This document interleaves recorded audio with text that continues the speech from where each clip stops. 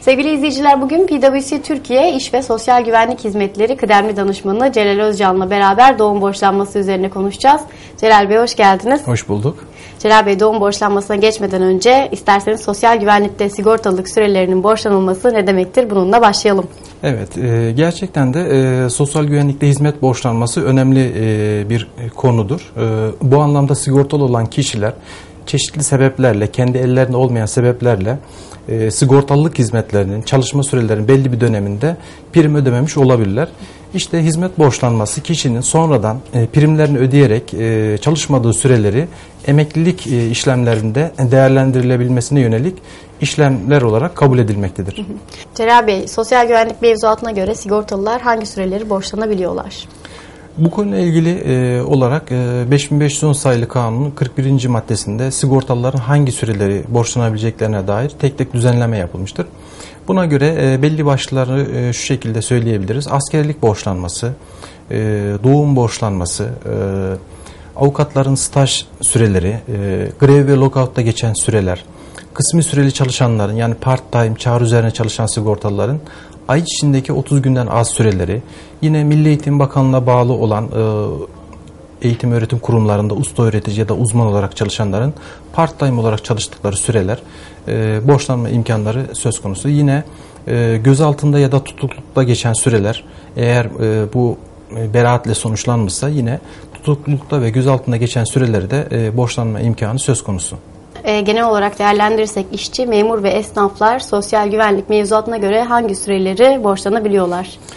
Ee, bildiğiniz gibi 2008 Ekim ayında sosyal güvenlik reformu kapsamında e, 5510 sayılı e, sosyal sigortalar ve genel sağlık sigortası kanunu çık çıkarılmıştı.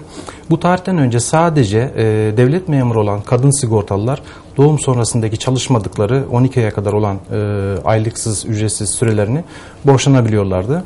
Sosyal güvenlik reformunda e, kapsamında yapılan e, düzenleme sonucunda doğum borçlanması hakkı SSK'lı kadınlara da e, tanınmıştır. Fakat bu doğum borçlanmasından şu anda bağ kurulu olan kadın sigortalılar e, yararlanma hakları bulunmamaktadır. Peki şu an yürürlükte olan doğum borçlanmasının şartlarını nasıl açıklarsınız? Şu anda e, SSK'ya tabi olan kadın sigortalılar doğum borçlanmaları yapabilmesi için belli şartlar öngörülüyor. E, bunlardan bir tanesi ilk defa e, sigortalı oldukları tarihten sonra doğum yap, e, yapmış olmaları gerekiyor. E, bir diğer şart da e, doğum sonrasında e, çalışmamış olmaları gerekiyor. Üçüncü bir şart olarak da e, doğum borçlanması yapacakları o iki yıllık süre içerisinde çocuğun e, yaşamış olması ve son olarak da e, doğal olarak e, kadın sigortalının doğum borçlanması konusunda yazılı talepte bulunması gerekiyor. Az önce belirttiniz ama kısaca tekrar belirtelim. E, kimler doğum borçlanması yapabiliyor, kimler yapamıyordu? E, devlet memurları olan kadınlar zaten önceden de yapabiliyorlardı. E, SSK e, sigortası kapsamındaki kadın sigortalılara e, bu hak e, sosyal güvenlik reformu ile beraber getirilmiştir. Ama Bağkur kapsamındaki sigortalı kadınlar şu anda doğum borçlanması yapamıyorlar. Bunun dışında e, SGK isteğe bağlı sigortalılığına prim ödeyen kadın sigortalıların isteğe bağlı sigortalı olduktan sonraki sürelerde yapmış oldukları doğumlar. Yine 2925 sayılı tarım sigortası kanununa tabi kadın sigortalılar yine keza doğum borçlanması yapamıyorlar. Veya e, sigortalı olarak testleri yapılmış ama işverenleri tarafından bir prim ödenmemişse bu kişilerin de doğum borçlanması e, yapma imkanları bulunmamaktadır. Aslında çok gelen sorulardan bir tanesi bu. E, az sonra soracağım soru doğum borçlanması yapmanın kadınlara ne gibi faydası vardır? Evet, e, emeklilikte e, bir kişinin emekli olabilmesi için belli şartlar e, gerekiyor. Bunlardan bir tanesi prim ödeme gün sayısı, e, emeklilik yaşı ve sigortalılık süresi. E, doğum borçlanması e, kadınlara emeklilik için gerekli olan prim ödeme gün sayılarını daha kısa sürede tamamlama e, ve emekli aylıklarını yaptıkları doğum borçlanması bedeline bağlı olarak daha yüksek emekli aylığı alma imkanı e, kendilerine sağlamaktadır.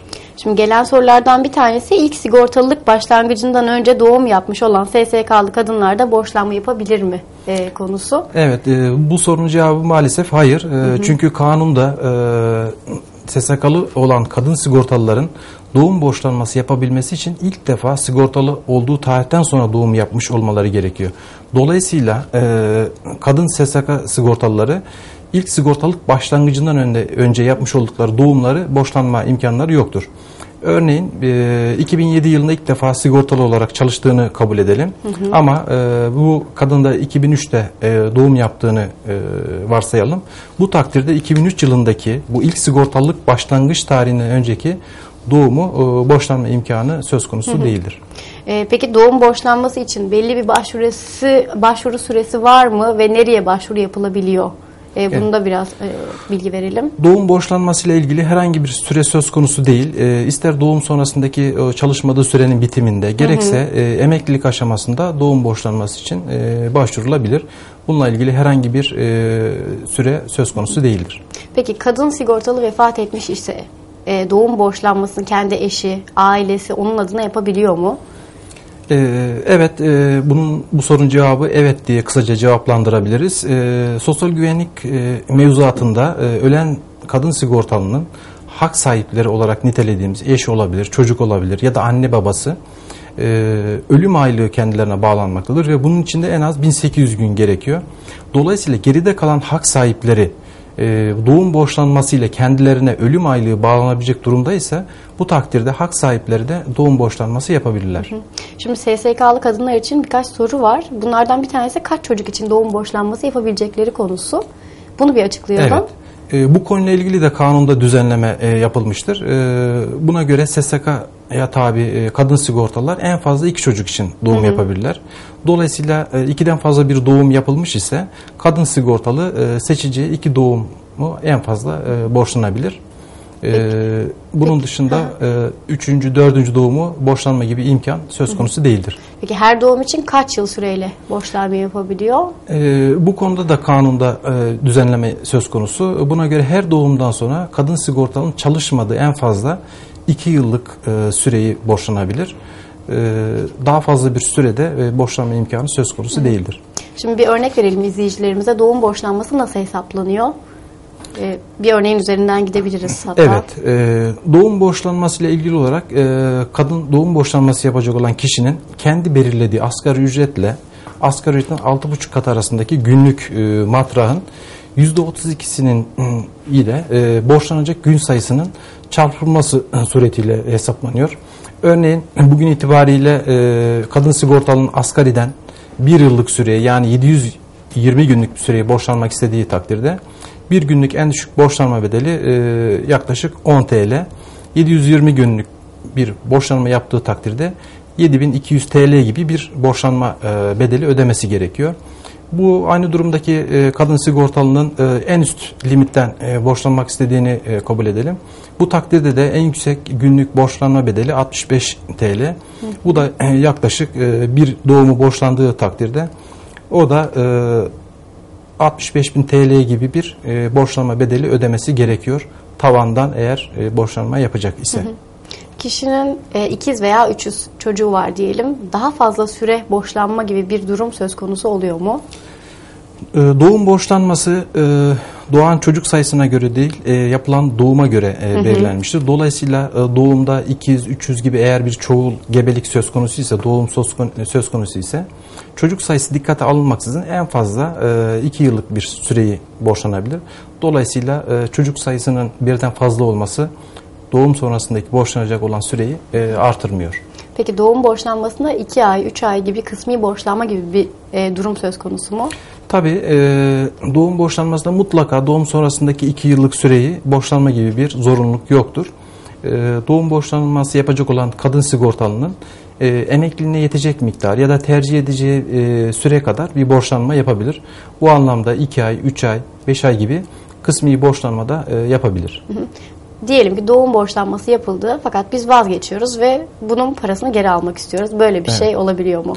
Normalde kural olarak hizmet borçlanmalarında borçlanma bedelleri iade edilmiyor. Ee, ancak bunun tek istisnası eğer kişi e, yaptığı doğum borçlanmasıyla e, birlikte emekli aylığını hak kazanamıyorsa bu takdirde bir defaya mahsus olmak üzere e, daha önce ödediği doğum borçlanma bedelini geri alabilir. Peki Celal Bey, borçlanma bedelinin SGK'ya ödenmesi için belli bir süre var mı? Varsa süresinde ödememe durumunda borçlanma hakkımız kayboluyor mu? Evet, e, gerçekten e, borçlanma başvurusu için belirli bir süre yok ama e, hesaplanan borçlanmayı yaptıktan sonra hesaplanan e, borçlanma bedelinin tebliğ edildiği tarihten itibaren bir ay içerisinde SGK'ya ödenmesi gerekiyor. Aksi takdirde borçlanma hakkı iptal olmuyor ama yeniden başvuru şartı aranıyor.